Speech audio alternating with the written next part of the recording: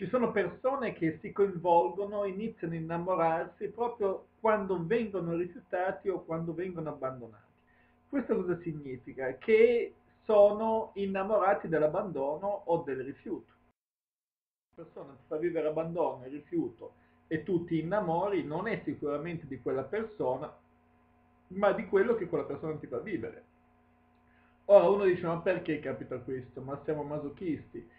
No, è che la parte emotiva va alla ricerca di nutrimento, di tensioni emozionali e allora piuttosto che niente, come dice il proverbio, è meglio piuttosto.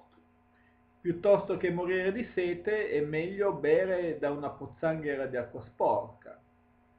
Però bisogna tenere presente che noi possiamo insegnare questa nostra parte a bere sì, ma da una sorgente di acqua pulita.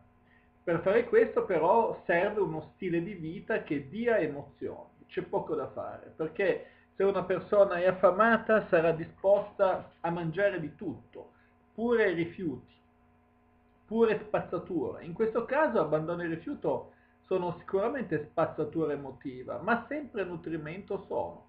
Per cui dobbiamo imparare a riuscire in qualche modo ad avere uno stile di vita diverso. Se ci rendiamo conto che una persona ci rifiuta e questo ci coinvolge, vuol dire che abbiamo uno stile di vita non adeguato da un punto di vista emotivo, non riusciamo a vivere quel quid di emozioni che tutti i giorni dovremmo in qualche modo vivere, il che non significa fare cose strane particolari, ma semplicemente anche dedicarsi a cose che ci interessano veramente, che ci appassionano, perché eh, come diceva Battiato, diciamo, ci vorrebbe un'altra vita, nel senso che se la, non riusciamo a vivere emotivamente nel modo giusto, dobbiamo cambiare qualcosa nella nostra vita, non possiamo, eh, come dire, tenere tutto uguale sperando di vivere situazioni diverse. Questa è semplicemente un'illusione, per cui nel momento in cui ti rendi conto che ti coinvolgi proprio con persone che invece dovresti rifiutare da un punto di vista logico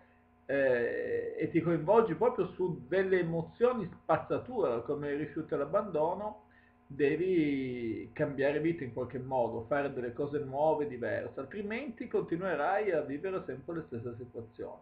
Bene, per questo video è tutto, ti do appuntamento al prossimo, seguimi anche sul blog seduzionevi.com, ciao!